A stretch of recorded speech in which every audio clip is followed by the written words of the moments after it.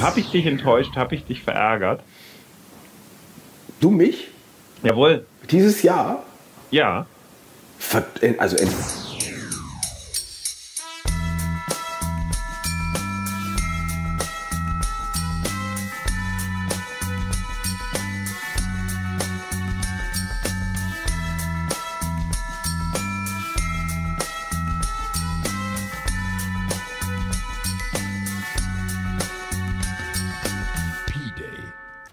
Podcast Day.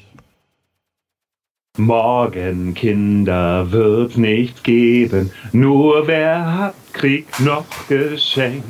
Mutter schenkte euch das Leben, das genügt, wenn man's bedenkt.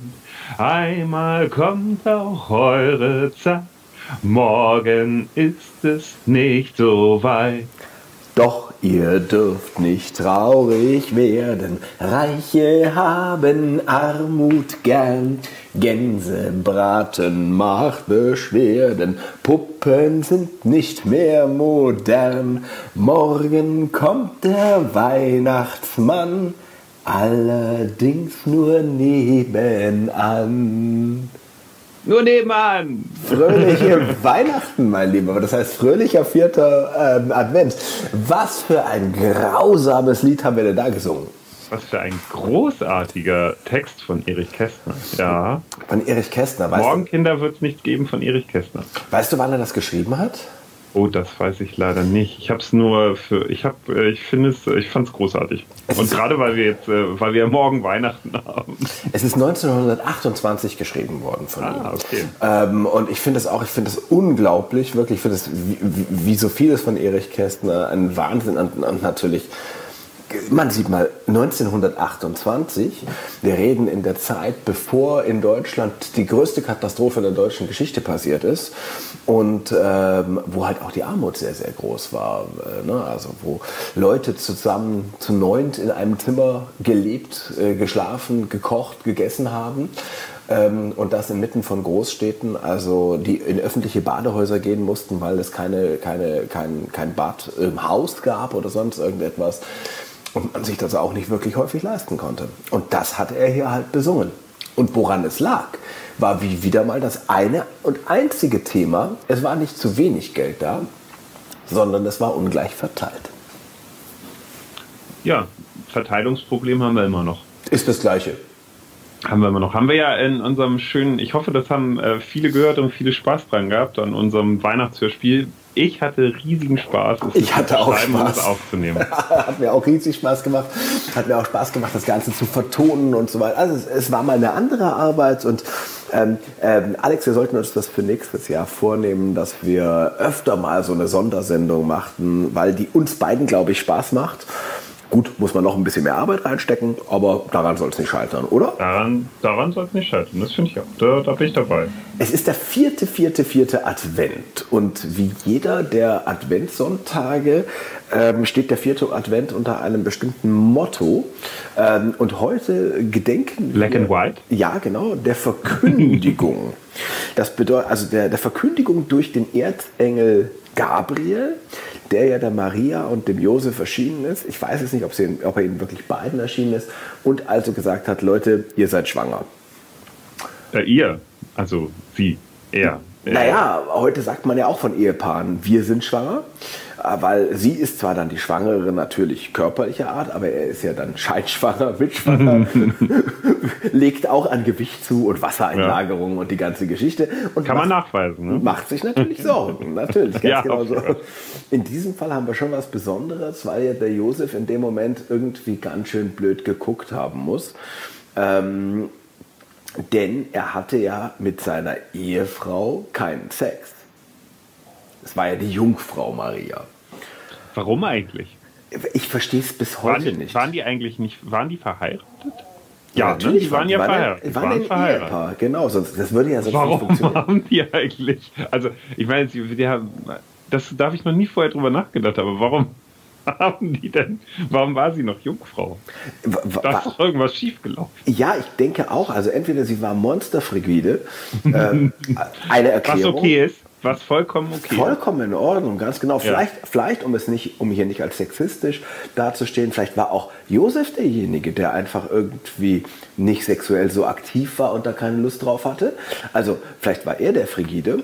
Ähm, es könnte, könnte, könnten beide gewesen sein ungewöhnlich ist es, weil eigentlich ist gerade in dieser Zeit ja die Institution der Ehe auch etwas gewesen, was ganz wesentlich dafür war, dass man endlich mal mit jemandem in die Kiste steigen konnte. Könnte ja. man ein schönes Theaterstück drüber schreiben, einfach über das Gespräch der beiden. Ne? Die, so, die könnte das. Oh. Meinst du, meinst du so nach dem Motto, nach dem, nach dem Motto, der Josef sie, sie so lüstern anschaut, mein Schatz? Ey, Maria, ey Baby, Mary, Schnecki, wie wäre es mit uns beiden? Und, sie, und, und, und sie, sie dann irgendwas erzählt von wegen Migräne und Kopfschmerztabletten, die noch nicht erfunden sind? ja, oder einfach, dass er sagt, du hättest doch, wenn du irgendwelche besonderen Wünsche hast, hättest du das doch sagen können.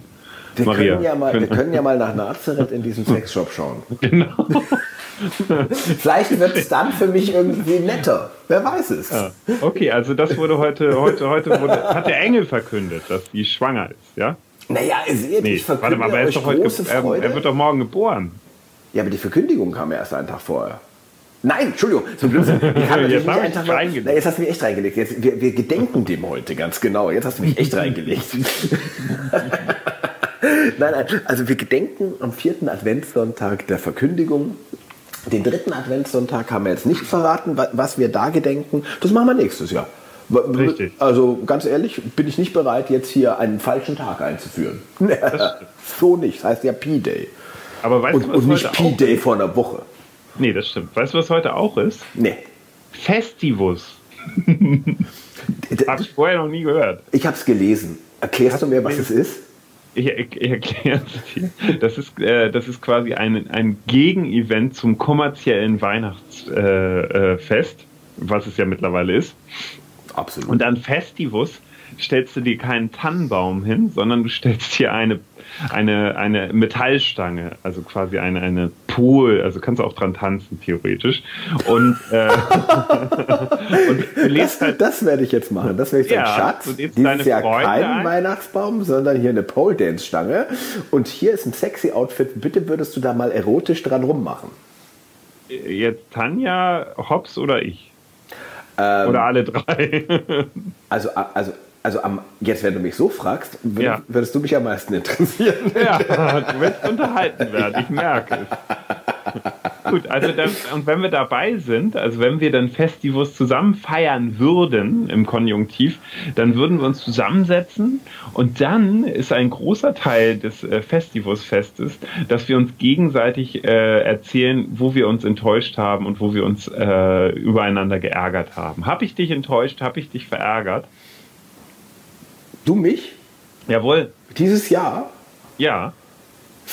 Also Nein, also enttäuscht schon mal gar nicht. Ver Klingt ein bisschen so wie dieses Jahr. Also nein, nein, nein, nein. nee, ich, ja ich, ich probiere gerade zurück. Also äh, Blödsinn. Außerdem denke ich nicht in solchen Kategorien und verärgert. Ähm, also nicht so, dass es hängen geblieben ist. Also sowas ist bei mir situativ, wo ich mir dann denke, ach Alex, nerv nicht. Und das ist dann aber auch vorbei. Ähm, also ich habe für sowas kein Gedächtnis. Ich, äh, ich, äh, das gibt es aber bei mir allgemein nicht bei Freundschaften. Also ähm, meine Freunde sind nie, nicht Leute, die mich ärgern. Ähm, die finde ich manchmal komisch oder auch mal, auch mal so ein bisschen, ach, guck an, so, so tickt der. Aber der, der, der, der Rest ist Sympathie, also alles gut. Das ist schön. Ja, du hast mich auch nicht verärgert und äh, auch nicht enttäuscht, eher äh, erfreut und begeistert. Das ist jetzt schade, also es ist nicht schade im Allgemeinen, aber in diesem Fall ist es sehr schade, weil wenn wir denn aneinander Ärger oder Enttäuschung auslassen könnten, müssten wir uns jetzt gegenseitig zu einem Wrestling-Kampf herausfordern.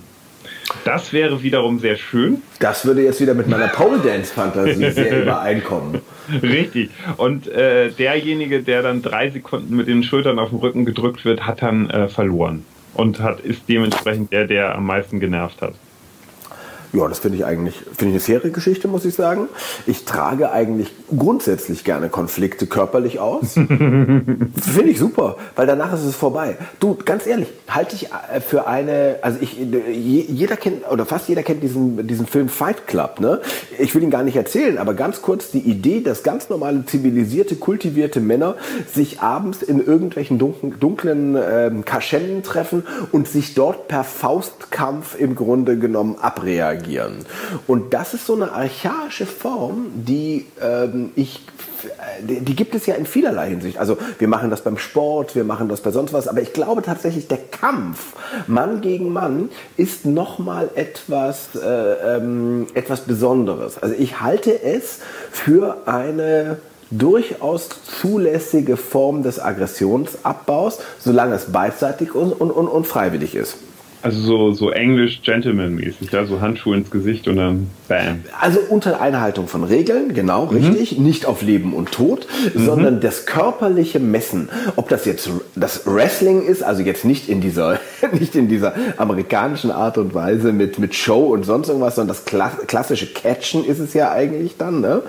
Ähm, ich, ich, ich, finde, ich finde, das ist in Ordnung grundsätzlich. Ich hätte da nichts dagegen, wenn Leute sich gegenseitig ein bisschen Fratzengeballer geben und danach äh, gemütlich miteinander eine Buttermilch trinken. Finde ich voll in Ordnung. Ich, ich sage mal so, ich glaube, ja, also ich, ich finde es auch in Ordnung. Ich glaube auch, dass es gibt ja auch das, da wären wir wieder bei meinem Lieblingsthema äh, Gleichberechtigung, äh, dass, dass äh, in, in den Schulen und in den Kindergärten Jungs nicht genug zugestanden wird, dass ja. sie halt eine andere Art der Konfliktaustragung manchmal haben. Ähm, und ich glaube auch zum gewissen Grad ist es auch gut und wichtig, dass, dass man da seinen eigenen Körper und seine eigenen Grenzen kennenlernt, aber eben immer unter Regeln und ähm, aber es ist natürlich, wir haben da Übertragungen, in dem Sinne ist ein Fußballspiel auch eine Art Wettkampf, Definitiv. in dem man sich aus äh, toben kann und wo, also ich muss auch sagen, ich habe äh, quasi meine äh, meine Gefühle, die nicht meiner Meinung nach mit dem Alltag, äh, die, die, die, trage ich oft auf dem Fußballplatz. Also Schreien und ähm, auch, auch wirklich Aggressionen. Also, dass man vor jemanden steht und dem halt äh, richtig also ja, also zum gewissen Grad auch droht oder halt mit dem halt äh, auch wirklich körperlich aneinander gerät. Aber ich bin dann auch wirklich so, wenn, wenn, der, wenn der Schiedsrichter dann pfeift, dann äh, ist vorbei und dann kann ich mit demjenigen auch gerne eine heiße Milch mit Honig trinken. Das ist übrigens etwas, was ich allgemein an männlichen Auseinandersetzungen sehr, sehr mag. Ähm, da fühle ich mich wohl. Man kann sich relativ hart angehen. Man schaut auch mal, ob der andere umfällt. Das ist jetzt nicht nur körperlich gemeint, sondern das kann eben auch ähm, äh, in einer Diskussion sein. Und danach äh, setzt man sich wieder hin und trinkt was gemeinsam und hat das abgeklärt. Aber, man, aber es ist weniger nachtragend. Das, mir kommt das sehr entgegen, weil ich mich dann auch in einer Diskussion auch mal ausleben darf, auch mal fehlverhalten darf übrigens, ohne dass der andere mir einen moralischen Vorwurf macht, wie ich mich eigentlich verhalten würde. Das habe ich häufiger dann mal, wenn ich mich in Diskussionen mit Frauen fehlverhalte, die dann sagen, wie kann man denn so sein und daraus eine moralische Überlegenheit ableiten. Das mag ich nicht. okay. Sag mal, hast du So einfach bin ich gestrickt. So einfach bin ich gestrickt. Man, du magst es nicht, wenn man dir moralisches Fehlverhalten vorwirft. Ich mag überhaupt keine moralischen Predigten. Das mag ich überhaupt nicht. Ich, ich, okay. ich selbst probiere auch nicht zu moralisieren. Ich schon. Ich versuche es nicht. Ich sage ja nicht, dass es mir nicht, dass dass es mir gelingt, aber ich finde eigentlich Moral eine Einbahnstraße. Finde ich immer wieder problematisch. Ähm, Regeln ist was anderes, aber Moral hat äh, unterteilt die Welt, finde ich, immer in den Guten und den Schlechten. Und damit haben wir ein Problem. Ja, das, dieses Problem werden wir nicht in dieser Folge auflösen. ah, ich dachte, wir kriegen das jetzt hin. Aber sag mal, hast du dir ähm, die, die äh, Baby It's Cold Outside, hast du dir das Video mal angeguckt eigentlich? Das Original aus dem Originalfilm, das hatte ich dir als YouTube-Video geschickt. Bin ich nicht dazu gekommen, tut mir leid. Ich hatte so wahnsinnig viel zu tun mit, unserer, mit unserem Hörspiel. Und ich habe ehrlich gesagt mit einer zweiten Sache noch zu tun. Denn, du hast es vorhin schon einmal gesagt, du hast den Namen gesagt, ähm, ja, bei uns ist jemand Neues eingezogen, bei uns ist ein Welpe eingezogen, ein Beagle-Welpe wieder mal, er heißt Hobbs. Und ähm, Äh, ja, das ist ein Baby und das ist ein Baby mit spitzen Zähnen. Der probiert alles anzuknabbern und probiert ähm, ähm, äh, überall sein Seechen zu machen. Und deswegen bin ich ein bisschen gestresst zurzeit gerade. Das kann ich vollkommen verstehen. Also umso mehr nochmal vielen Dank für die. Du hast ja äh, sowohl die Musik für P-Day nochmal bearbeitet. Also ich meine, es ist ja sowieso von dir geschrieben und du hast eigentlich die ganze Nachbearbeitung alleine gemacht und das hast du wirklich großartig gemacht. Das ist sehr, sehr lieb von dir. Aber auch dich muss man wieder in den Vordergrund stellen, damit wir hier gegenseitig uns nach oben ähm, hieven. äh, wirklich, weil ich finde, äh, ich finde, wir haben es gemeinsam geschrieben. Ich finde, äh, die, die, das ist wirklich schön gewesen. Es war eine, eine, eine schnelle, unheimlich effiziente Zusammenarbeit wieder mal. Also, du hast mich nicht genervt, du hast mich nicht enttäuscht. Wir haben heute einfach den falschen Tag ausgewählt. Ähm, heute ist noch ein Tag, äh, den hattest du, da könntest du vielleicht noch was zu da sagen. Ja, Nämlich die Noche de Roja oder keine Ahnung, die Nacht der Radieschen. G genau. Und das, was du gesagt hast, mag rumänisch gewesen sein, ev ev eventuell. Es war rumänisch. eventuell eine andere romanische Sprache, aber sie hat nichts mit dem zu tun, was es nämlich ist. Es ist nämlich ein mexikanischer, oh, das ist total lustig. Es ist ein mexikanischer Tag. Es ist die Noche de Rabanos. Rabanos. Das ist die Nacht der. So nah dran. ja, sehr. Es ist die Nacht der Radieschen beziehungsweise auch der roten Rettiche. Rabanos. Ähm, und ähm, was machen die verrückten Mexikaner? Und das ist geil. Und ich, ich, fordere, ich fordere tatsächlich alle Hörer auf, ähm, Noche de Rabanos einfach mal zu googeln und dann euch die Bilder anzuschauen. Ähm, denn die schnitzen aus Radieschen alle möglichen Skulpturen, Kirchen, ach, äh, lauter Miniaturen, Menschen bis hin zu Porträts aus Radieschen. Und das machen sie überall in ganz Mexiko ähm, und feiern eben die Nacht der Radieschen und stellen überall so eine Art, man kann sich das so vorstellen, wie so, wie so Krippen oder wie, ähm, ja, wie so Miniatur-Wunderland, nur eben aus Radieschen. man, man, man muss schon Mexikaner sein, um sowas gut zu finden, oder? Also ich, ich finde es irgendwie geil. Also sag mal nur, ähm, weißt du, wie lange die das schon feiern? Nein, das weiß ich nicht. Weißt du, hast du es nachgeschaut? Nee, überhaupt nicht. Ich weiß, ich weiß gar nichts darüber. Ich weiß, du hattest eine, äh, den Kacheltext dazu gemacht, weil es heute ja äh, ist. Und mehr weiß ich nicht darüber. Ich fand es aber ganz witzig, ich finde es sympathisch. Ich finde es vor allen Dingen total sympathisch, dass das irgendwie was ist, was jeder machen kann. Es ist aber irgendwie, äh, es, es ist kreativ ich finde es toll. Ich finde es ich ein ganz tolles Fest. Es ist, kein, es ist nicht kommerziell. Jeder kann sich ein Radieschen greifen. So teuer wird das in Mexiko auch nicht sein. Finde das eine ganz tolle Sache. Es ist, halt, ähm, es ist halt ganz lustig, weil diese Radieschen durch die rote Schale und das weiße Innere, ne, da lässt, lassen sich halt Konturen äh, ähm, schnitzen. Und das ja. sieht ganz, ganz toll aus eben. Und ähm, ja gut, die Mexikaner äh, kennen wir ja schon, also auch, wir kennen ja diesen, diesen Dia de los Muertos, also ähm, woher auch diese tollen, verzierten Totenschädel äh, kommen, die ja wirklich für die mexikanische Kultur stehen wie nichts Zweites im Grunde genommen. Ähm, und äh, die, die, die Mexikaner haben, finde ich, ausgefallene Feiertage. Und heute, am 23. feiern sie eben Noche de Hermanos. Warum Ganz nicht? geiles Völkchen auf jeden Fall. Äh, witzig, oder? Also finde ich, finde ich schon besonders und, und sehr, sehr speziell. Ja, ist dir noch ein Welttag aufgefallen? Tatsächlich ja, wobei ich aber gar nichts dazu sagen kann. Was weißt oder was sind Pfeffernüsse für dich? Keine Ahnung. Pfeffernüsse sind für mich ähm, Lebkuchen. Und zwar mhm. runde Lebkuchen mit einer weißen Glasur, die auch so ein bisschen ah, eben gepfeffert sind. Also, ähm, das, äh, also äh, in, in, in so Lebkuchenteig ist also eben ja auch, sind ja Gewürze drin. Ne? Es sind ja andere Gewürze, als wir vielleicht sonst im Gebäck haben. Und äh, dazu gehört auch ein bisschen Pfeffer wohl. Und heute ist Tag der Pfeffernuss in den Vereinigten Staaten. Auch hier wieder what the fuck, warum feiert man das denn? ich finde es viel sinnvoller, Radieschen zu nehmen und die zu schnitzen, aber im Norden von Mexiko haben wir eben ein weniger einfallsreiches Volk, was ihre Feiertage angeht und die feiern heute lieber Pfeffernusstag, aber die machen da nichts draus. Also es ist nicht so, dass sie jetzt sagen, wir schnitzen aus Pfeffernüssen irgendwas Cooles oder bauen daraus Türme oder hm, spielen damit Mensch ärger dich nicht. Nein, sie, sie feiern heute die Pfeffernuss. Wahrscheinlich, weil sie noch satt von gestern sind, wo sie den Cheeseburger gefeiert haben oder sowas. Ich weiß es nicht. Also ein bisschen eigenartig, aber dieser Tag ist mir noch aufgefallen okay. und zur Komplettheit wollte ich ihn anbringen. Gut, dann sind wir von mir aus mit den Welttagen durch. Mhm. Und jetzt kommt mein Gedicht. Ich bin gespannt. Was ist los? Ähm, eben besagter Grund. Klein, vierbeinig, sehr süß und ein bisschen anstrengend, hat mich tatsächlich äh, davon abgehalten, zum ersten Mal in diesem Jahr. Ähm, ich habe kein Gedicht geschafft. Ich habe mich, ich konnte mich nicht vorbereiten auf das Gedicht. Das heißt, ich muss dir heute leider sagen, dass du gar kein Geburtstagskind äh, raten darfst. Du, du, kannst sonst raten, wer Geburtstag hat, aber ich sag dir halt nichts vorher.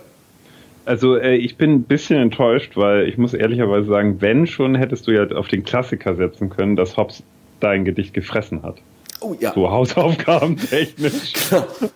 Das, ist, das würde aber jeder auf mich zurückführen und sagen, ganz ehrlich, das müsste man aber wissen als Welpenbesitzer, dass man das nicht macht. Hm, genau. Nee, es, es, es haben heute einige Leute, die, die ähm, absolut geeignet gewesen wären, äh, ein Gedicht über sie zu schreiben, haben heute Geburtstag. Also am 23.12.1750 zum Beispiel hat Friedrich August I., also der, der, der Kurfürst und, und erste König von Sachsen, zum Beispiel mhm. Geburtstag gehabt. Ähm, dann hatten wir, und das ist auch nicht ganz schlecht, im Jahre 1918 Altbundeskanzler Helmut Schmidt. Oh, der ist äh, am Ende des Ersten Weltkriegs, also äh, die Gnade der späten Geburt für ihn auch, ja? Okay. Ja, hat dafür den Zweiten Weltkrieg natürlich volle Kanne mitge ja. also, also als junger Mann mitbekommen. Ne? Ja. Ist einem vielleicht auch sonst gar nicht so klar gewesen, ja. Also auf jeden Fall irgendwie ähm, keine ganz unwesentliche Figur in, in, in, in Deutschland. Ganz schön hoch gefeiert, wie ich finde. Bestimmt ein guter Mann, aber, aber der, der, der galt so, was Helmut Schmidt gesagt hat, das war das Orakel. Also man hat ihm eigentlich alles zugelassen, finde ich. Und das finde ich ein bisschen übertrieben. Intelligenter, guter Realpolitiker. Hm. Aber ob der jetzt unbedingt das Genie unter den Politikern und ob er vor allem nach seiner Zeit, wo er draußen war, noch eine Berechtigung hat, sich ständig so korrigierend einzumischen, hm, kann man sich auch mal fragen, finde ich, oder?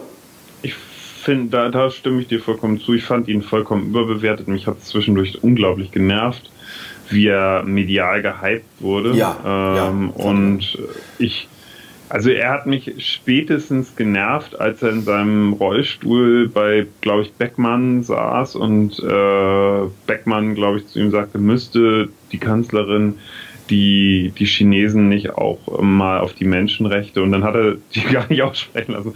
Man soll die Chinesen mal mit den Menschenrechten in Ruhe lassen. Habe ich, glaube ich, auch schon mal in der Folge gesagt. Da habe ich gedacht, du sitzt da gerade in deinem Rollstuhl und ja. du, ähm, du sagst, also ich, ich finde halt, klar, die Menschenrechte, also ich finde, die Menschenrechte sind noch so wenig. Also wenn man, also ich finde darauf, äh, also das ist unverhandelbar für mich. Ich, ich äh, deswegen und da spätestens klar bin ich mir sicher, realpolitisch hat Deutschland ja gar nicht das Gewicht, um zu sagen, ja, China übrigens macht doch mal.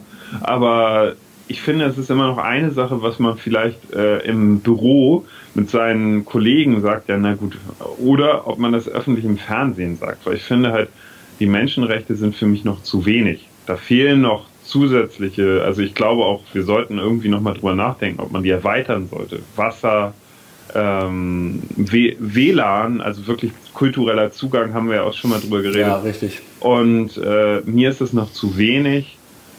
Und ich, ich denke auch, dass wir viele Probleme unserer Welt lösen würden, wenn wir einfach ähm, eine, eine gute Umverteilung schaffen würden, weil dann würden wir auch keine, viele, äh, viele Sachen, viele Probleme in der dritten Welt würden sich lösen, in dem Sinne, wenn die Menschen Perspektiven haben, dann würden die auch nicht mehr so viele Kinder bekommen, dann würden wir auch keine Überbevölkerung bekommen, die wir ja sowieso nicht bekommen, wenn wir Factfulness richtig gelesen haben. Korrekt.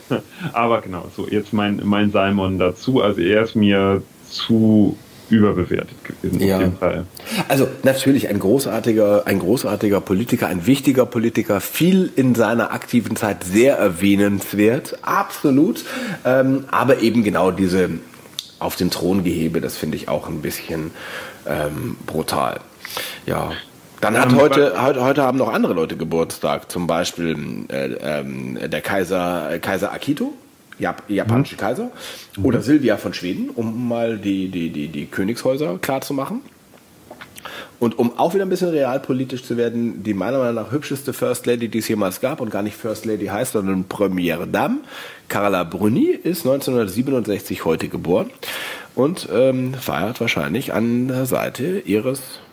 Ist sie noch? Ja, sie ist mit Sarkozy. Sie ist mit Sarkozy noch verheiratet oder ist das mittlerweile auch durch? Ich habe es, mh, ich hätte zumindest nichts Gegenteiliges gelesen. G ging mir genauso. Und übrigens noch jemand Wichtiges, finde ich, zumindest für mich. Eddie Vetter hat heute äh, Geburtstag. Das ist immerhin äh, der Frontmann von Pearl Jam und hat damit in der Zeit, in der ich studierte, für eine Bege Bewegung gesorgt in der Rockmusik, die sich Grunge nannte und die für mich essentiell war, weil sie mich Ah, weil sie ein totaler Ausgleich war.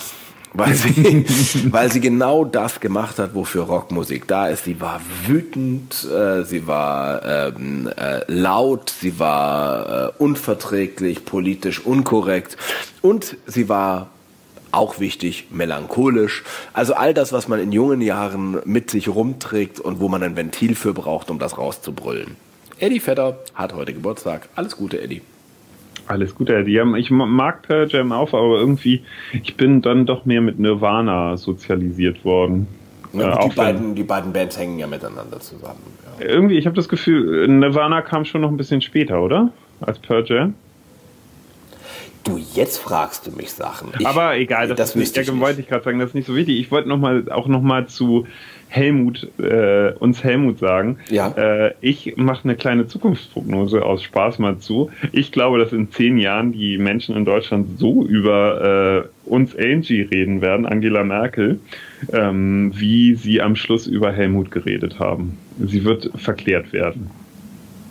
Mein Tipp. Aber wo wir bei Ja, Zukunftsprognosen ja. sind.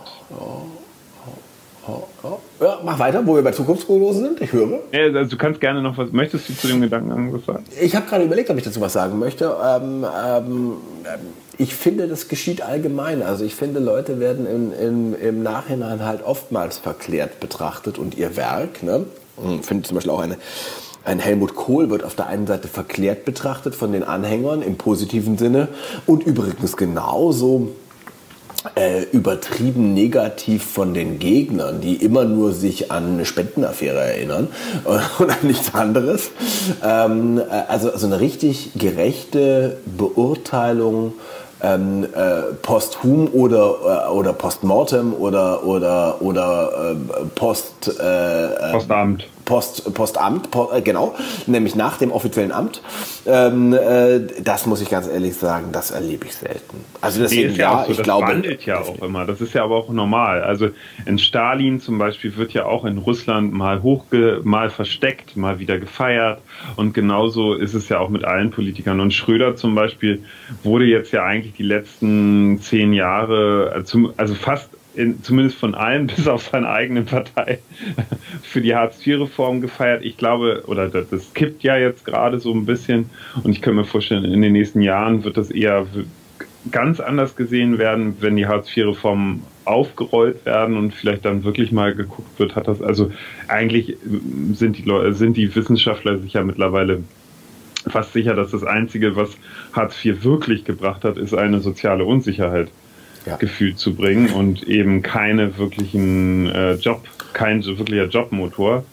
Ist immer noch nicht Ist ganz nicht, klar. ist nicht ganz sicher, muss man sagen, ob es ein Jobmotor ist, nicht. Ähm, äh, definitiv, die Wirtschaft profitiert von einigen Hartz-IV-Themen sehr, sehr wohl. Das ist die Flexibilisierung der Arbeit gewesen. Das ist, eine, das ist etwas, wo die Wirtschaft auch Zugriff drauf braucht. Das ist schon richtig. Ähm, äh, es ist wahnsinnig schwer planbar für die Wirtschaft, wenn du sozusagen jeden Mitarbeiter, den du einstellst, ich, ich sage über, sag jetzt mal übertrieben, auf Lebenszeit einstellen musst. So, ein Kompromiss zwischen den beiden Wünschen, dass eine Unternehmen sagt, ich hätte gerne den Faktor Arbeit möglichst flexibel von heute auf morgen ein- und ausgestellt und dem sehr berechtigten Wunsch eines Menschen, der sagt, ich möchte mich nicht von einem Tag auf den anderen ein- und ausstellen lassen und damit meine Zukunft äh, sozusagen auch davon abhängig machen, dann muss ein Kompromiss gefunden gefunden werden. Und da, da, da hat Hartz IV schon etwas gemacht, was sehr sinnvoll ist. Was unerträglich bei Hartz IV ist, sind eigentlich die Sozialreformen bezüglich der Sozialleistungen des Staates, was schlicht und einfach eine Kürzung war und noch dazu eine pädagogisch dumme, dumme Kürzung, weil sie die Leute dauerhaft aus der Arbeitswelt vertreibt. Also für mich ist das einfachste und ich glaube auch für jeden nachvollziehbare Beispiel ist die Mutter, die von Hartz IV lebt, vier Kinder hat, was weiß ich, die älteren Kinder sind vielleicht 16, möchten sich was dazu verdienen, weil sie, was weiß ich, äh, äh, Gitarrenunterricht möchten oder, oder einfach nur, weil sie Geld haben möchten, ähm, gehen in eine, in eine Kneipe äh, und, und, und servieren dort oder gehen in den Laden und äh, bedienen dort. Und dieses Geld, was sie dort verdienen, wird sofort auf den Hartz-IV-Betrag der Mutter angerechnet. Und wie, wie soll ich einem jungen Menschen beibringen, Mensch, nimm es in die eigene Hand, arbeite was, dann hast du was davon, wenn ich es ihm sofort wieder wegnehme. Und diese Dummheiten müssen abgestellt werden in Hartz IV. Das ist, und ist mir auch nicht klar, warum das 20 Jahre lang dauert. Ich verstehe es nicht, ich verstehe es nicht. Und die CDU möchte es bis heute nicht. Die möchte es nicht abschaffen. Ja, das äh, sagt auch wieder einiges über die CDU aus. Aber jetzt sind wir wieder doppelt, also hast du vollkommen recht, aber für mich ist noch, also Nee, das führt zu weit. Äh, mhm. Hartz IV, das ist nicht das Einzige, was, was, äh, aber da wirst du auch sagen, da sind noch andere Sachen bei Hartz IV nicht in Ordnung, aber das ist auf jeden Fall sehr offensichtlich. Ähm, wir waren aber gerade bei Zukunftsprognose. Genau. Eigentlich, also wir, äh, wir hatten ja unsere neue Kategorie Zukunftsprognose. Und äh, genau, eigentlich hätten wir das schon vor zwei Wochen äh, auflösen müssen, als äh, die, der CDU-Parteitag zu Ende war. Da war aber erst unsere Live-Folge, da haben wir es technisch nicht unterbringen können. Korrekt. Und äh, letzte Woche unser Hörspiel. Und dementsprechend, was hältst du davon, wenn wir uns mal deine Zukunft oder unsere Zukunftsprognosen zum Thema anhören, wer wird neuer CDU-Vorsitzender? Das war fünf, das war am fünf Wochen vor, vor dem CDU-Parteitag. Ne? Korrekt, das war kurz nachdem ähm, Frau Bundeskanzlerin Angela Merkel angekündigt hat, dass sie für dieses Amt nicht mehr kandidieren wird. Genau. Wollen wir hören? Wollen wir hören. Ich, ich fahre mal ab, oder? Ja. Los geht's. Ich sage jetzt. Äh oh. Wer wird Parteivorsitzender der CDU, mein Lieber? Ähm, mh. Ich ähm, bin der festen Überzeugung, äh, dass es Friedrich Merz wird. Die CDU braucht eine Bekennung zu, einer, einer gewiss, zu gewissen konservativen Werten. Wer steht dafür? Auf jeden Fall fällt jetzt Frau Kramp-Karrenbauer weg, weil sie im Grunde genommen eine Doppelung von Frau Merkel ist. Ich finde sie nicht schlecht, also das ist jetzt nicht meine Meinung, aber sie gehört zu einem eher ja fast schon linken Spektrum innerhalb der CDU. Ich glaube, dass äh, Merz, der ist zu fulminant äh, medial gestartet und ich glaube, der wird bis zur Wahl, äh, bis zu dieser CDU-Wahl noch entzaubert. Ja, ich glaube, dass Laschet oder Annegret Kamm-Karrenbauer, das sind für mich auch die Favoriten, dass sie doch am Ende den CDU-Vorsitz haben. Mhm. Einer von beiden. Tja. Ja, also, ja, ähm, ich, ich, ich, weißt du was, da sieht man mal, wie Erinnerung trügt. Ich hätte gedacht, du hättest nur Laschet gesagt. Und jetzt höre ich gerade, du hast den üblen Trick genommen und hast einfach zwei gesagt. Und, und, und, und, und, und hast dich gar nicht festgelegt, sondern hast gesagt, ich glaube, Laschet, Annegret Karrenbauer, ähm, Spahn oder Merz wird es. Nichtsdestotrotz ja? muss ich zumindest eingestehen, dass ich definitiv falsch lag. Ähm, ich hätte äh, bis zum Schluss tatsächlich äh, mit Merz gerechnet gerechnet, hm, hätte es der CDU fast sogar gewünscht. Ähm, Sage ich ganz ehrlich. Also, und der SPD. Hm, naja, oder dem politischen Spektrum in Deutschland, sagen wir es so, ja.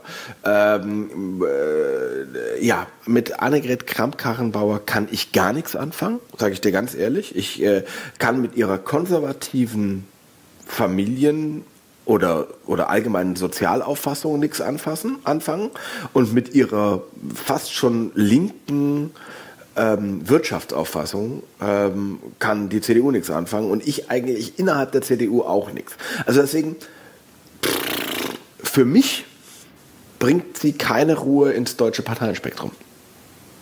Nee, das wird sie nicht. Ähm, andererseits muss man halt auch sagen, ich finde, man hat gerade in der Vorberichterstattung, wo halt März äh, quasi schon gewonnen hatte, äh, auch gemerkt, äh, dass es vielleicht auch gar nicht schlecht ist, dass da wieder eine Frau hinkommt. Einfach weil das immer noch so komische Reflexe gibt und das ist halt, ich finde es gar nicht, ich finde das gar nicht schlecht. Da musst auch du mir mal sagen, welchen komischen Reflex du jetzt meinst. Das, äh, das habe ich nicht mitbekommen was, was für komische Reflexe, also dass, dass Frauen halt, ich glaube halt, wenn März wieder zurück, also März oder Spahn es geworden wären, dann wären viele Sachen, also ich glaube, äh, unter, unter Angela Merkel haben sich viele Sachen doch geändert, die wir gar nicht so bewusst wahrgenommen haben, dass, dass Frauen doch eben, ja, also, äh, dass es halt selbstverständlicher ist, dass Frauen solche Rollen einnehmen.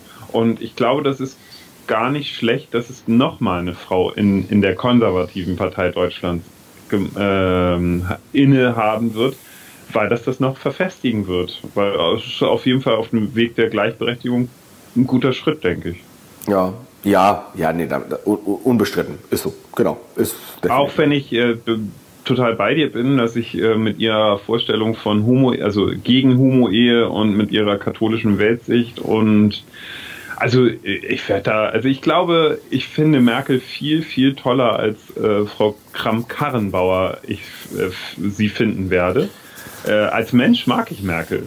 Ja, ich als Mensch mag ich sie auch. Ich finde sie, ich finde sie, äh, ich mag ihre humorvolle Art. Und ich mag auch ihre Abgeklärtheit und ich mag eigentlich auch so ein bisschen diesen wissenschaftlichen Hintergrund. Was ich bei Merkel nicht aushalten kann, ist diese komplette Visionslosigkeit. Also ja. diese, diese Null-Idee so, und was machen wir morgen? Keine Ahnung. Stimmt ihr mal ab und nachher sagen wir, wir machen das, was die Mehrheit will. ich muss aber nochmal gestehen, ich habe das ja, ich habe den das jetzt eben zusammengeschnitten und du hast recht, ich habe erst nur Laschet gesagt. Du, du hast mich aber gar nicht ausreden lassen. Deswegen habe ich ein bisschen geschummelt. Äh, ich, ich wollte sagen Laschet oder äh, kam da, ich kam da gar nicht zu, dass ich Kram Karrenbauer noch sagen wollte, weil du hast mir quasi den Satz dann aus dem Mund genommen und hast dann gesagt, ja, der, äh, der ist ja auch viel zu links und äh, also länger gesagt. Und ich habe quasi dann, wo ich mal einen Satz äh, zu Ende bekommen habe, das war bei der zweiten Zukunftsprognose, da habe ich gesagt, ich denke, dass Laschet oder Kramp-Karrenbauer den CDU-Vorsitz gewinnen werden und dementsprechend dann auch Kanzler werden. Alex, ich merke, du hast gelogen. Du bist ja doch enttäuscht von mir. Ich, offensichtlich lasse ich dich nicht ausreden. Doch, in dem Moment nur nicht. Aber nein, nein, nein. Wir, ich glaube, wir nehmen uns äh, nichts. Das, das, das ist alles gut. Nein, nein, nein. Ich komme hier nicht zu kurz. Keine Sorge. Aber in dem Moment äh, habe ich hab ich zumindest nicht geschafft, das zu sagen, was ich sagen wollte. Und deswegen habe ich ein bisschen geschummelt. Schuft du. Schuft du. Ist dir historisch was aufgefallen? Eine ganze Menge. Eine ganze ja, dann mal los. Menge. Also, ähm, einerseits äh, am 23.12.1970, und das soll nur eine ganz kurze Meldung sein, ist äh, in New York der Nordturm des World Trade Centers fertiggestellt worden. Ähm, wir wissen alle, dass er heute nicht mehr da ist. Und der war aber damals, 1970, mit 417 Metern äh, das höchste Gebäude der Welt. Interessant ist, dass am gleichen Datum allerdings ähm, einige Jahre vorher, und zwar äh, 1958, in Tokio ähm, ein äh, Gebäude einge, ein, äh, aufgebaut wurde, nämlich der Tokyo Tower, der mit 332 Metern damals ähm, das höchste Bauwerk der Welt war also 58, und den Eiffelturm abgelöst hat sozusagen. Also Eiffelturm, dann in Tokio die Tokyo Towers und dann 1970 ähm, äh, der, der World Trade Center Nordturm, immer am 23.12. Und da frage ich mich, gibt es hier Gründe für eine Verschwörungstheorie. Was ist am 23.12. los, dass da immer unsere höchsten Gebäude auf einmal fertiggestellt werden? Na, na, du weißt na? ja 23, ne? Das ist ja die Zahl der Illuminaten. Ja, ah, jetzt wissen wir es ganz genau. Und waren es nicht 23 Geschworene, die den Ku Klux Klan gegründet haben?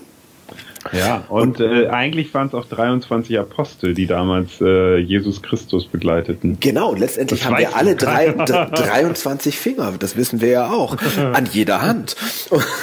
Und, und du darfst eins, eins nicht vergessen, ganz genau, 23 ist nämlich, ähm, die Quersumme ist nämlich 5 und das sind eigentlich unsere Finger. So sieht es nämlich aus jetzt ergibt alles einen Sinn. Ja, gut, okay, dann, äh, ja, ich glaube, ich könnte mir sogar vorstellen, dass es wirklich eine Bewandtnis hat, dass das, äh, das ich meine, im Endeffekt war das, waren die Gebäude ja schon fertig. Man hat sie eingeweiht. Äh, ne? Genau. Mhm. Und zumindest könnte ich mir vorstellen, dass bei dem äh, World Trade Center äh, die beiden anderen Daten bewusst äh, waren und das dann bewusst auch genutzt wurde. Könnte ich mir wie, wie, wie, top nervig, weißt du? Irgendwie waren im August fertig mit dem World Trade Center. Und, ja, genau. nee, und dann sagen wir, ähm, du schlag da noch mal einen Schlitz. wir, dürfen erst, im, wir dürfen erst im Dezember fertig werden, ganz wir genau. Wir können das nicht fertig machen, das geht, das geht um die Geschichte. Weißt du, und dann kam so die Bauabnahme und solche Geschichten. Und so, ah, ganz ehrlich, der Marmor, den habt ihr verbaut, ganz genau, könnt ihr rausreißen. das ist ein Scheißzeug, ne? ganz ehrlich, dann machen wir einen neuen rein. Ähm, Aber das ist Deutschland. So ging das dann bis Dezember. in den USA nicht so gegangen. Ehrlich nicht? Die USA hat gesagt, die sind da viel schlimmer. Meinst du? Weiß nicht. Ist dir was Glaube aufgefallen? Ist ja, mir ist, mir ist ganz viel aufgefallen, aber ich möchte nur eine Sache sagen, weil ich das ganz spannend finde. Ähm, heute, am, am 23.12., aber im Jahre 1888, hat sich äh, Van Gogh das Ohr abgeschnitten. Ja. Ja, und das fand ich, also ich, also ich äh, weiß, da wusste da ja gar nichts wirklich drüber. Irgendwie jeder weiß ja, glaube ich, also fast jeder, der den Namen Van Gogh kennt, ähm, kennt ja, weiß ja, dass er sich irgendwann das Ohr abgeschnitten hat. Aber im Absinthrausch, so viel ich weiß, ne? So, jetzt kläre ich dich mal auf. Okay. Und zwar, ähm, äh, das fand ich nämlich ganz spannend. Der, äh, der gute Herr war nämlich, also der, äh, er hatte einen Bruder, Theo van Gogh. Theo van Gogh äh, war der Leiter einer, einer großen Kunst, äh, eines großen Kunsthandels und verdiente gutes Geld und unterstützte seinen Bruder. Im Gegenzug ähm, hat der ihm immer einen gewissen Teil seiner Bilder überlassen. Und das ermöglichte Van Gogh halt wirklich, dass er nur von seinem Malen leben konnte. Und Van Gogh äh, ist im Jahre 1888 dann in, nach Frankreich, weil er wollte halt äh, ein bisschen, also, er, also nach Südfrankreich, weil er wollte nach Arles, Aal, ich weiß nicht, wie man es ausspricht, A-R-L-E-S, Aal. Ich, ich, ich, bin nicht der französische Kenner, aber ich würde Aal sagen, jawohl. Ja, da ist er, er wollte da ursprünglich gar nicht hin, da ist er aber hängen geblieben ähm, und er hatte sich versprochen, dass er viele Blautöne findet, die er malen kann ähm, und ist da hängen geblieben und hat dann da sein, äh, äh, seinen Traum erfüllt. Er wollte eine Künstler-WG schaffen. Er wollte halt ein Haus schaffen, in dem Künstler gemeinsam leben können und äh, Bilder malen können. Hat verschiedene Künstler eingeladen und dort kam dann Gauguin hin. Gauguin. Gauguin. Äh, mit dem er befreundet war. Und das hat ihn schon vorher ein bisschen gestresst, weil das beides wohl sehr extrovertierte Charaktere waren. Und der ist halt gekommen und wenige Tage später, das war dann am 23. Dezember, sind die beiden sich halt sehr in die Haare gekommen. Und es ist bis heute nicht klar, wie das wirklich passiert ist. Es gibt sogar Theorien, dass Gauguin ihnen das Ohr abgeschnitten hat. Ach. Ähm, ja, und äh, im Endeffekt ist er halt, also ist, ist Van Gogh am nächsten Tag bewusstlos mit, mit einem Ohr weniger aufgewacht. Äh, und ähm, es ist halt nicht ganz klar, ob er sich das selber abgeschnitten hat oder ob er das gemacht hat. Gauguin hat sich dazu wohl nicht geäußert und äh, Van Gogh weiß, weiß es halt selber nicht genau. Und äh, aber es kann durchaus sein, dass er es selber abgetrennt hat. Er, ähm, er war halt krank. Also er hat halt Anfälle gehabt, die hatte er hat nur noch anderthalb Jahre danach gelebt ist dann in, in den letzten Monaten seines Lebens zu seinem Bruder zurückgekehrt und wurde da von einem Arzt komplett falsch behandelt, ähm, der, der von ihm auch mit Bildern bezahlt wurde. Also der Arzt war wohl ein Scharlatan, das war wohl aber auch so relativ schnell später klar. Und dann ist er, äh, weißt du, wie er gestorben ist am Ende? Nee. Das ich wusste ich auch nicht. Nee. Der, hat, der hat Selbstmord begangen. Der hat sich eine Kugel äh, in den Bauch geschossen und ist dann langsam gestorben. Das und sein Bruder, also dann wusste ich überhaupt nicht. Ich finde super spannende Geschichte. Äh, sein, äh, er ist von, von einem Arzt gefunden worden, der hat die Kugel nicht mehr entfernt. Warum, konnte ich jetzt nicht rausfinden. Äh, scheinbar hat er keine Chance gesehen und äh, ist dann im Kreise mit seinem Bruder am Bett äh, und mit dem Arzt äh, verstorben. Und sein Bruder ist ein halbes Jahr später auch an Syphilis verstorben. Ähm, ja. Hatte nicht äh, Van Gogh dieses Ohr irgendwie einer, einer Hure irgendwie noch gegeben? Sagt man das so, Hure? Aber äh, ich weiß gar nicht, ist das noch politisch korrekt? Ich habe also die Huren sagen selber von sich Huren. Ja, das ist ja immer so eine Sache. Also ein, ein Schwarzer kann ja auch Nigger sagen. Äh, nein, nein, aber, aber sie, das, das stimmt nicht. Also da, da bin ich mir ganz sicher, dass die Huren ähm, den Begriff Hure ähm, für, für richtig halten. Also den ja. halten sie für den politisch korrekten. Ich glaube, sie wählen so, also Nutte mögen sie nicht und Prostituierte finden sie zu aufgeschweift. Also deswegen glaube ich, dass ähm, Hure ein. Ich, findest du etwas, findest du es despektierlich, Hure? Klingt das in deinen Ohren schlecht? Da Hurensohn ja eine Beleidigung ist, weiß ich nicht, ob. Es klingt es für mich erstmal vielleicht nicht ganz äh, positiv, ja. Okay. Aber okay. Äh, ich, ich habe da jetzt nur, das war so intuitiv. Ich hatte mir Prostituierte notiert, aber ich habe ehrlich gesagt dann gar nicht gefunden. Also ich habe das hier irgendwie, das, also das war die ursprüngliche Eintrag ähm, dass er am Schluss oder danach das ein Teil des Ohres später einer Prostituierten überreichte. Siehst du, Aber ja, okay. das habe ich, äh, was, warum er das gemacht hat und wo, das habe ich dann doch nicht mehr gefunden. Aber lange Rede, kurzer Sinn. Äh, unglaublich spannende Lebensgeschichte ja. und äh, ich finde es ja immer faszinierend, wenn, wenn Figuren, also wenn mehrere historisch relevante Figuren aufeinandertreffen und dann auch noch so. Also ich wusste nicht, dass Gugger äh, in der Gegend war, als das Ohr von äh, Van Gogh ging. Ah, das ist aber allgemein diese Zeit und das ist dann diese Zeit auch noch gerade in Frankreich und in Paris und natürlich auch die frühe Zeit des ähm, 20, 20. Jahrhunderts, wo sich in Paris ja im Grunde genommen das künstlerische Hu ist Hu, ähm, die, die Klinke in die Tür gegeben hat. Also wir saßen ja da alle zusammen, weißt du, also das waren, äh, das sind äh, sowohl die Hemingways als auch natürlich die Picassos und die, was weiß ich nicht alles gewesen, ähm, äh, die, die, die da alle auf einem Haufen saßen. Also es muss toll sein. Also ich mhm. wünsch, würde mich sehr in diese Zeit zurückwünschen und würde gerne irgendwie in irgendwelchen Cafés in Montmartre sitzen und gucken, wer da alles reinkommt und was für Extrovert. Weißt du, dann kommt Dali auf einmal rein und, und, und, und, und der, der muss sowieso ein Wahnsinniger gewesen sein. Wie gesagt, als nächstes kommt Picasso um die Ecke und Mondriani und was weiß ich nicht. Das finde ich toll. Diese Zeit finde ich den Hammer. Da wäre ich gerne in Paris gewesen. In Montmartre. Ja, klingt spannend. Ist dir noch was historisch aufgefallen? Oh ja, ähm, gar nicht lange später, also genau gesagt fünf Jahre später, nachdem sich äh, Vincent van Gogh das, das, das Ohr abgeschnitten hat und offensichtlich zwei, äh, drei Jahre später, nachdem er gestorben ist, ähm, ist äh, etwas Herrliches entstanden. Wirklich etwas Herrliches. Und zwar ähm, Engelbert Humperdinck hat die, das Märchen von Hänsel und Gretel als Oper vertont. Und äh, die ist so toll. Das ist eine spätromantische Oper, also kurz danach beginnt ja dann die moderne. Und äh, das ist eine, das klingt immer so als Kinderoper, ist es überhaupt nicht. Eine der tollsten Opern, die es gibt.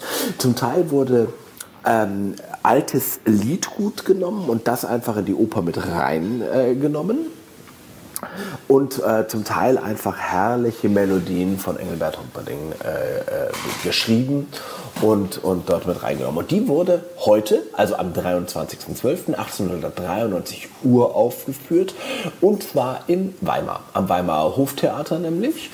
Und äh, das ist, äh, also ich kann jedem nur sagen, geht in diese Oper, das macht so viel Spaß und das sind so schöne Melodien. Und das ist auch für jeden Opernanfänger genau das Richtige, weil so viel Herrliches da drin vorkommt. Das ist, ist wirklich, wirklich, wirklich schön. Ähm, ich war dieses Jahr leider nicht, weil unglaublich Sie wird in Hamburg dieses Jahr nicht aufgeführt. Gehört eigentlich so standardmäßig dazu. Also ich bin da eigentlich jedes Jahr. Ähm, aber sie wird nicht aufgeführt dieses Jahr. Und deswegen äh, war ich auch nicht da. Können wir ja nächstes Jahr vielleicht zusammen hingehen. Wenn es wieder da ist, also unbedingt, also sehr, sehr gerne, weil das ist wirklich toll. Letztes Jahr war ich mit meinem Neffen und meiner Nichte zusammen drin und mit Tanja natürlich, meiner Frau. Ähm, und äh, wir genießen das eigentlich, also Tanja und ich gehen eigentlich fast jedes Jahr.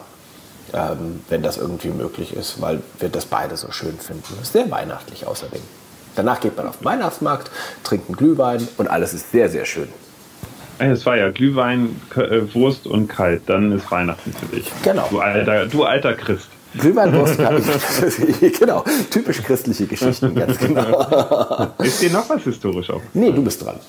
Nee, ich, ich wollte nur dieses. Ich habe ein paar, aber es sind auch längere und äh, genau. Also ich wäre mit meinen historischen durch. Ja, siehst du? Ich eigentlich auch so, so, so. Also, nee, es gibt noch eine Kleinigkeit, die würde ich vielleicht noch nennen, weil, weil das finde ich schon enorm.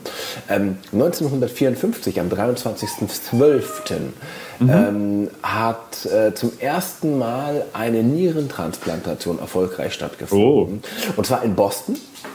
Äh, Edward Murray hat das gemacht mit seinem Team in einer fünfeinhalbstündigen Operation, was dann letztendlich zur Folge hatte, dass ähm, ja, dieser Mensch eine funktionierende Niere hatte und nicht mehr an die Dialyse musste, was natürlich ein Wahnsinn ist. Also das ist schon richtig toll.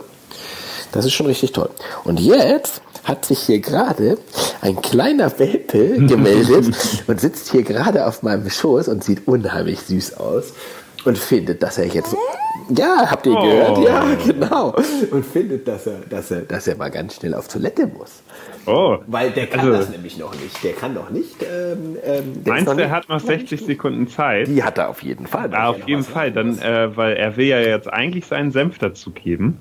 Aber er muss sich vielleicht noch 60 Sekunden gedulden, bis du geraten hast, warum man sagt, seinen Senf dazugeben. Ab jetzt hast du 60 Sekunden Zeit, mir Ja-Nein-Fragen zu stellen. Okay, also, geht es wirklich um Senf, also um Wurstsenf? Wurstsenf? Ja, es geht um Senf. Ähm, kann es sein, dass, es, dass, es, dass die Senfgeschmäcker so unterschiedlich waren, dass früher Leute alle ihren eigenen Senf hatten? Nein. Ähm, waren Senfgeschmäcker unterschiedlich? Nein. Also ähm, ja, vielleicht, aber hat nichts damit zu tun. Okay. Liegt das, hängt das irgendwie mit Senfmühlen zusammen? Weil es gab ja gar nicht so viele Nein. Senfmühlen. Okay. Ähm, liegt es daran, dass man mit Senf würzt? Und man sozusagen. Ja. ja, okay. Das bedeutet, seinen Senf dazugeben wäre also so eine Geschichte. Ähm, äh, ah, der macht jetzt hier irgendwie leckeres Essen und der muss noch seinen Senf dazugeben im Sinne von, der muss noch seine eigene Würze mit reinbringen. Nein. Hm, das fand ich jetzt so logisch. ähm, ähm, also nicht würzen in dem Sinne, aber dass man halt das zu essen dazu tut. Gibt es das auch mit, er muss einen Ketchup dazu geben? Noch 10 Sekunden Zeit. Nein. ich habe gefragt. Oder kann man sagen, er möchte noch sein Pesto hinzugeben zum Beispiel? Kann man bestimmt in Italien sagen, du hast jetzt Zeit zu lösen. Okay, pass auf, es war folgendermaßen. Ähm, in der Zeit, in der kleine Welten sehr, große, sehr großen Einfluss hatten, ähm, mochten sie überhaupt keinen Senf, weil das war viel zu scharf für sie. Und deswegen äh, haben sie, waren sie fürchterlich angenervt von Leuten, die überall ihren Senf dazu gegeben haben. Und dann haben sie immer gesagt, die waren damals sehr einflussreich und haben eigentlich die Welt regiert. Und dann haben sie gesagt, der muss immer seinen Senf dazu geben und das schmeckt doch gar nicht.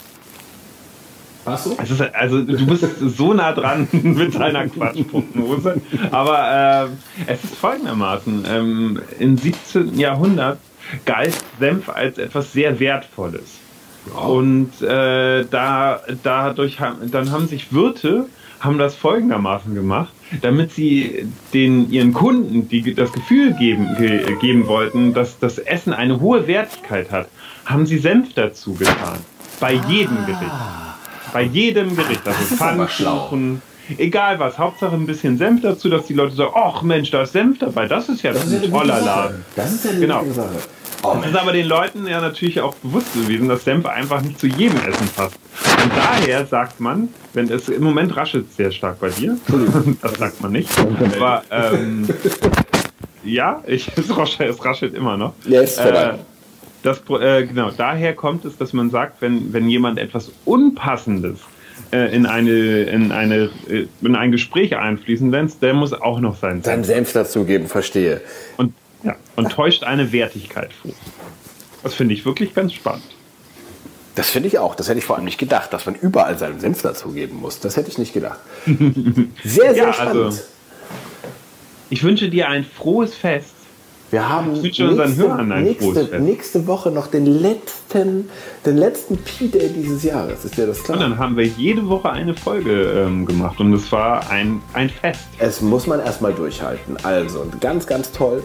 Mir auch. Und ich wünsche dir eine, ein frohes Fest. Den unseren Hörern wünsche ich ein frohes Fest. Und Hobbs wünsche ich ein frohes Fest, der hier gerade jammert. Und ich gehe jetzt nach unten, um hier die Blase meines Welpen zu erleichtern. Sehr gut. Dann bis nächste Woche und erstmal feier schön und äh, Glühwein und Wurst. Lass es dir schmecken, Weihnachten. So machen wir das. Bis dann. Tschüss. Tschüss.